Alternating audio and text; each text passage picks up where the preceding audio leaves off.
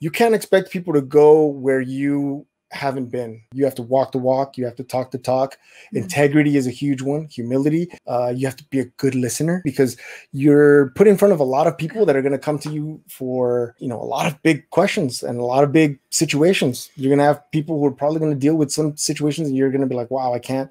I don't even know how to approach this." And you have to humble yourself enough to say, "Maybe I don't know the answers to this, but we'll figure it out together."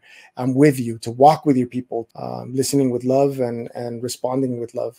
A desire to grow in your faith. Never feel like you've already reached it. Like ah, that's it. I'm here. The ego likes to think that it's here. It's arrived. There is no arrival. you never arrive. There's so many things to learn, so many things to explore. Going into yourself and finding out who you are first is key so that you can tell people, hey, well, when I was dealing with this situation, this is how I dealt with it. Keep this in mind. You're saying that you want to do the best that you can for whoever you have the opportunity to serve in the future. And I believe that you can serve many, many people. And remember this thing you're actually only serving one.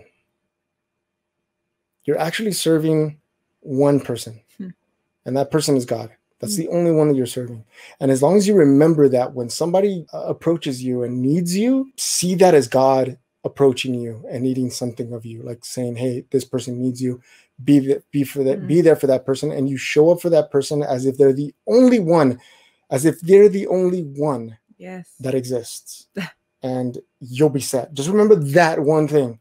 Show up for them as if they're the only person in the world. Amen to that. You will not. You will not fail.